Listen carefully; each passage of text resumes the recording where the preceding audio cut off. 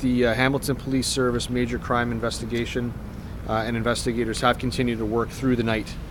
Um, interviewing, we've interviewed do- uh, dozens of witnesses, and as a result, two teens have been charged with first degree murder in the death of 14 year old Sir Winston Churchill secondary school student Devan Selvey.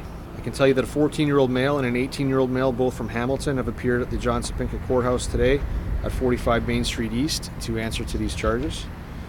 And earlier this morning, a 16 year old male and a 16 year old female were also arrested for first degree murder and brought to Central Station for interviews.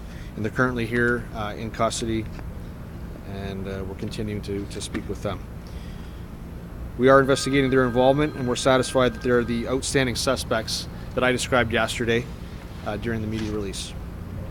Under the regulations of the Youth Criminal Justice Act, these youths cannot be identified.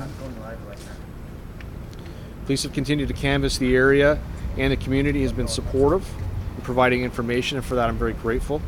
A ground search uh, for the murder weapon was conducted this morning, and uh, at this time I can tell you I believe that we are in possession of the murder weapon. It's been located uh, in the immediate area of uh, the homicide. And due to the fact uh, this homicide investigation does involve uh, a number of youths, we cannot speak further. I cannot speak further about the evidence uh, pertaining to this incident. Um, if you do have any information uh, that you believe could assist police with the investigation into this crime, please contact Detective Mike McNaughton, who's over my right shoulder behind me, at 905 546 4123. To provide information anonymously, please call Crime Stoppers at 1 800 222 8477 or submit your uh, anonymous tips online at crimestoppershamilton.com.